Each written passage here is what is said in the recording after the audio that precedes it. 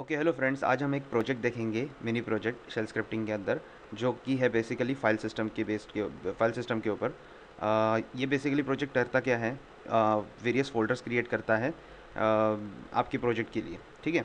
तो बहुत बार आपने देखा होगा कि अगर आप बेसिकली आप वेब डेवलपमेंट करते हो तो ये पर्टिकुलर प्रॉब्लम आपको आता होगा ठीक है? तो क्या प्रॉब्लम है बेसिकली कि अगर आप वेब डेवलप वेब वेबसाइट कोई डेवलप कर रहे हो तो जनरली आप क्या करते हो? पहले जो एग्जिस्टिंग कोड है फॉर एग्जांपल अगर बूटस्ट्रैप का अगर फ्रेमवर्क आप इस्तेमाल कर रहे हो तो उसके प्री डिफाइंड फाइल्स है फोल्डर्स है, वो आपको अपने प्रोजेक्ट के अंदर इनकॉर्पोरेट करने पड़ते हैं। फिर उसके बाद में मतलब ये जो सारी चीज़ें हैं, अगर आपका खुद का एक अलग से फ्रेमवर्क आपने बना के रखा है ओके तो आपको एक प्री डिफाइन उसका स्ट्रक्चर होगा, ठीक है ना? तो अगर वो प्री डिफाइन स्ट्रक्चर आपको अगर हर बार क्रिएट करना पड़े तो बहुत प्रॉब्लम हो जाती है।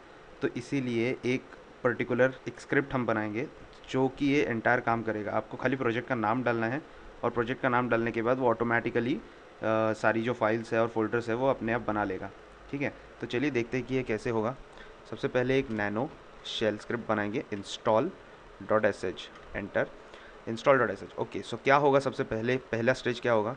कि हमें यूज़र को मतलब बताना पड़ेगा कि प्रोजेक्ट का नाम क्या है। पूछना पड़ेगा प्रोजेक्ट का नाम क्या है। तो सबसे पहले प्रोजेक्ट नेम नाम का एक वेरिएबल बनेगा। उसके बाद में यहाँ पर अभी हाँ एक को करना पड़ेगा।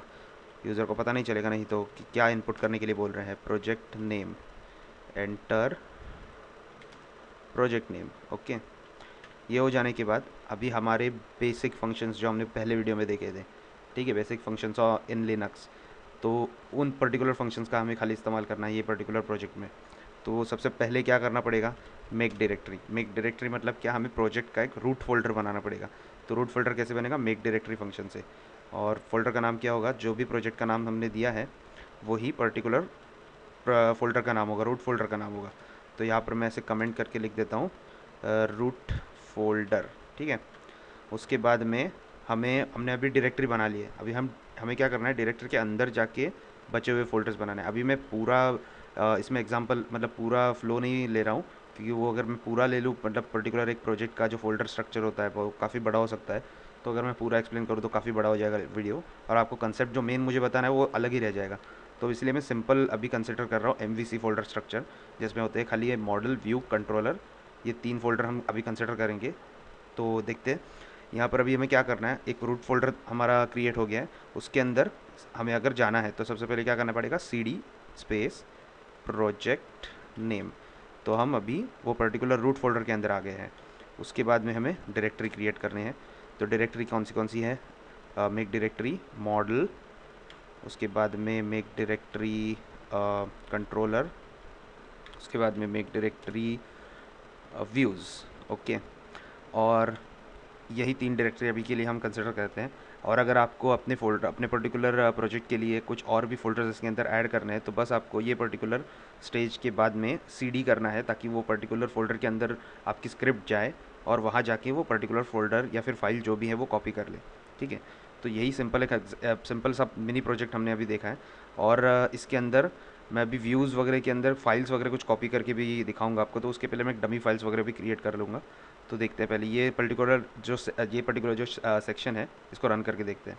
कंट्रोल एक्स वाई एंटर उसके बाद में S H install dot S H enter enter your project name A B C enter okay देखते हैं अभी हमारा A B C folder create हुआ है। येस वी हैव क्रिएटेड उसके बाद में अभी हमें फोल्डर के अंदर जाके चेक करना है कि अंदर की फाइल्स या मतलब फोल्डर्स क्रिएट हुए हैं कि नहीं।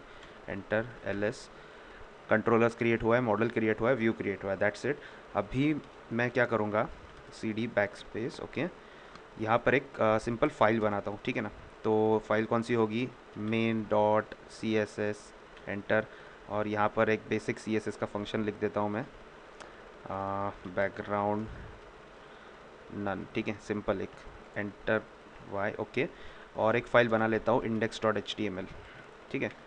यहाँ पर मैं हेलो वर्ल्ड अभी ऐसे ही लिख देता हूँ। कट कॉपी सेम ओके और अभी हम जाते हैं हमारे स्क्रिप्ट के अंदर। तो अब मुझे क्या करना है कि मेरे हर एक प्रोजेक्ट के अंदर ये पर्टिकुलर दो फाइल्स बाय डिफ़ॉल्ट हैं। तो वो फाइल्स मुझे हर एक फ़ोल्डर के अंदर मतलब मेरे पर्टिकुलर प्रोजेक्ट फ़ोल्डर के अंदर होनी चाहिए, भले मैं कोई भी प्रोजेक्ट बनाऊँ, ठीक है ना?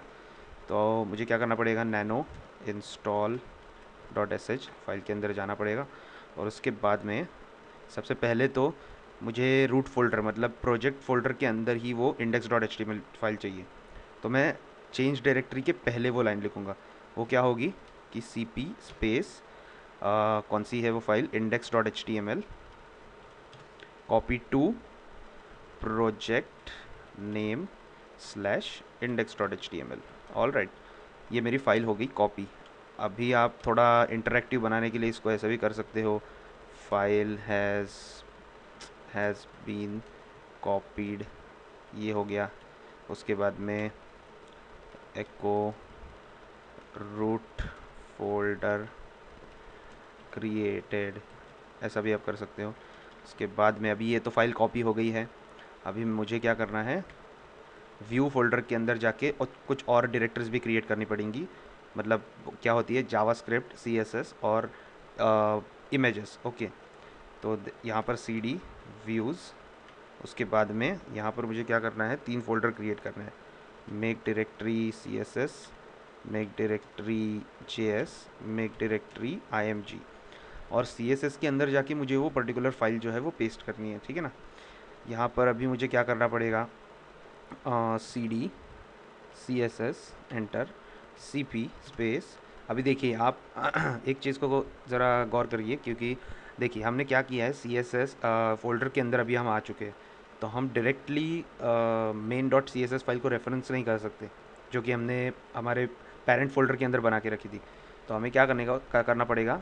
बैक स्पेस दे के मतलब double dot sorry double dot forward slash करके वो पीछे के पेरेंट फोल्डर के अंदर जाना पड़ेगा और वहाँ से फ़ाइल उठा के हमारे सी एस एस फोल्डर के अंदर आपको कॉपी करनी पड़ेगी। तो कैसे होगा? देखिए, हमने कितने सारे सी डी किए हैं, उतने हमको डबल डॉट फॉरवर्ड स्लैश करने पड़ेंगे, ठीक है? तो ये सबसे पहला है, उसके बाद दूसरा है और ये तीसरा है।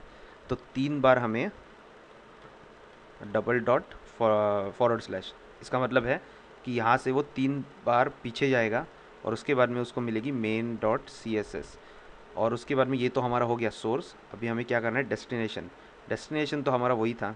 अभी यहाँ पर कोई चेंज करने की ज़रूरत नहीं है तो main dot C S S that's it save करते हैं कंट्रोल एक्स वाई एंटर और इसको S H space install dot S H enter project name B C D enter ये देखिए root folder has been created file has been copied तो चलिए अभी देखते हैं कि क्या वाकई में ये सारी फाइल्स कॉपी हो गई है। तो सबसे पहले रूट फोल्डर को चेक करेंगे। देखिए B C D folder created है। C D B C D enter less ये देखिए index dot H M L file copy हो चुकी है प्रॉपरली उसके बाद में सी डी व्यूज़ व्यूज़ के अंदर एल एस करेंगे। तो यहाँ पर देखिए सी एस एस नाम का फ़ोल्डर क्रिएटेड है, लेकिन केवल सी एस एस नाम का फ़ोल्डर ही क्रिएटेड है, ठीक है? तो चलिए पहले देखते हैं अंदर फ़ाइल तो कॉपी हुई है कि नहीं? C S S L S ये देखिए फाइल्स कॉपी हो गई है प्रॉपरली लेकिन फिर भी जो सी एस एस फोल्डर था, उसके अंदर हमें वो डालना था, लेकिन हो क्या रहा है एग्जैक्टली यहाँ पर? आप ज़रा गौर करिए इमेजेस और जावास्क्रिप्ट फोल्डर भी सी एस एस फोल्डर के अंदर ही क्रिएट हो गए हैं। तो ये क्यों हुआ? ज़रा मैं बता देता हूँ आपको। C D back slash C D back slash L S और nano install dot S H तो देखिए, हमने कर, हमने फ़ोल्डर तो चेंज कर दिया था, लेकिन हमने बाद में फ़ोल्डर से बाहर तो निकले नहीं। इसका मतलब क्या करना पड़ेगा हमें? C D double dot backs forward slash अभी हम सी एस एस फोल्डर के बाहर आ गए हैं। अभी ये बाद में जब क्रिएट हो गए जावास्क्रिप्ट और इमेज फोल्डर वो प्रॉपरली क्रिएट हो जाएँगे, देखिए। और यहाँ पर मैं एंड में लिख देता हूँ। Echo project has been successfully created ठीक है। कंट्रोल एक्स वाई और अभी हम थर्ड टाइम रन करके देखते हैं। Install dot S H O sorry H install dot S H और अभी हम डालेंगे X Y Z enter project has been successfully created C D पहले देखते हैं एल एस क्रिएट हुआ है कि नहीं? एक्स वाई जेड क्रिएटेड है. C D X Y Z L S अभी हम डायरेक्टली व्यूज़ में ही जाके देखते हैं. C D views L S ये देखिए प्रॉपरली तीन फोल्डर अलग से क्रिएट हो रहे हैं. और उसके बाद में C D C S S हमको एक ही फ़ाइल उसके अंदर चाहिए. ये देखिए main dot C S S तो इतना ही सिंपल है, अगर आपको यू नो फ़ाइल मैनिपुलेशन के ऊपर अगर आपको कोई प्रोजेक्ट बनाना है तो ये बहुत ही परफेक्ट प्रोजेक्ट है। इसके अंदर आप जी आर ई पी नाम के कमांड का भी इस्तेमाल कर सकते हो। आपको अगर पर्टिकुलर फ़ाइल के अंदर कुछ चेंजेस करवाने हैं मतलब जब आप एक index dot H T M L file main जो टेम्पलेट आपका होता है index dot H T M L का, उसके अंदर भी पर्टिकुलर प्रोजेक्ट का नाम होता है। मतलब अगर आप वेबसाइट के बारे में अगर बना रहे हो, ये पर्टिकुलर एप्लीकेशन तो यहाँ पर क्या होगा कि अगर मैं प्रोजेक्ट एक्स वाई जेड डाल रहा हूँ तो मुझे वो पर्टिकुलर इंडेक्स फ़ाइल के अंदर भी उसका जो टाइटल होता है H T M L title tag उसके अंदर भी X Y Z X Y Z नाम का प्रोजेक्ट नेम आना चाहिए। तो ये सारी जो चीज़ें हैं, वो आप जी आर ई पी नाम के कमांड से या कर सकते हो। ईजिली कोई दिक्कत नहीं उसके अंदर। मैं नेक्स्ट वीडियो में बताऊँगा आपको ये जी आर ई पी नाम का जो कमांड है, वो एग्जैक्टली exactly उसके क्या क्या पॉसिबिलिटीज़ है क्या क्या आप कर सकते हो उसके बारे, उसके ऊपर। तो बने रहिए मेरे साथ और सब्सक्राइब कीजिए। और वीडियो अच्छा लगा तो लाइक कीजिए और शेयर कीजिए। Thank you